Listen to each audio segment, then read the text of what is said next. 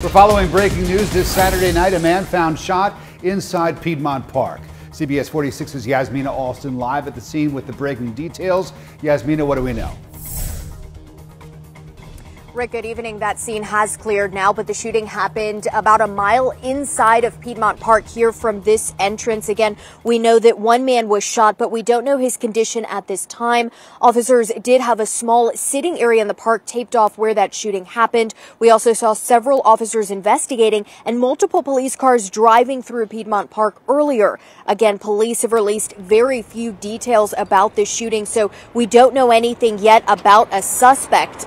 But we do know the scene tonight has cleared inside of Piedmont Park after a man was shot. We will, of course, update you as we learn more information. Reporting live in Midtown tonight, Yasmina Alston, CBS 46 News. Yasmina, thank you. Also